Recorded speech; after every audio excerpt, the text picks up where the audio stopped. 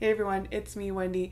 I typically teach how to sew here on YouTube under with Wendy, but today I'm here with CBC Life to give you a no sew home decor special. I've been doing a whole series with CBC Life focusing on home decor, and in today's video, it's gonna be about the drapes. There's a set of curtains in my living room that I've been meaning to replace. They're a bit heavy, they have this like velvety texture this like dark teal. Whether it's the sheerness, the opacity, the color, the print, anything that you want to change on your curtains, if you can find the material you want to swap it in for, then this is an easy way to just attach it up on the wall. I am planted here in this chair, I'm not moving. Everything I need is around me.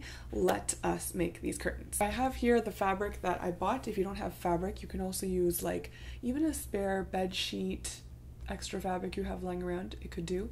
Uh, mine is really sheer. It's this like dusty teal color. I'm gonna swap this fabric in and the key to a no-sew is you need curtain clips. I picked up these curtain clips from the same fabric store. These ones are a light wood texture, it's pretty good.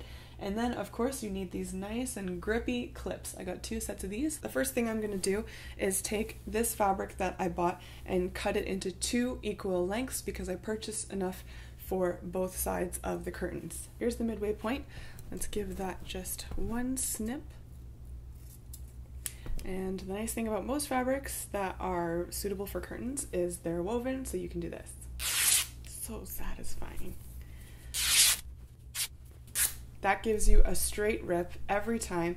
It even kind of like gathers in the edge for you so you don't have to worry about it.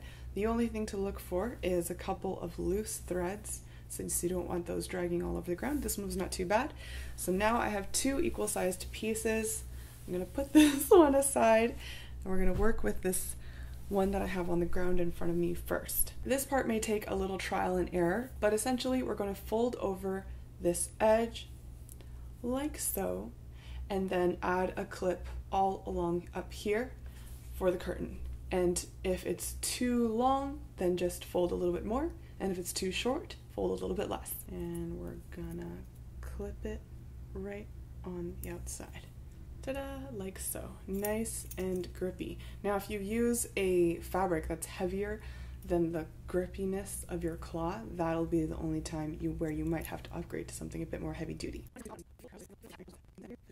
Now I've got the two far sides folded and clipped. I'm just to keep going all the way until the middle. Ta-da! That is one curtain all finished and ready to go.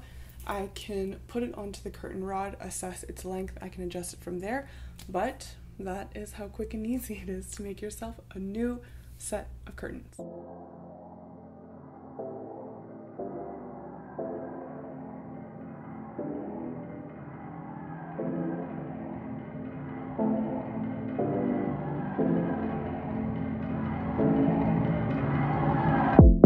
I looked your way, you noticed me, and I knew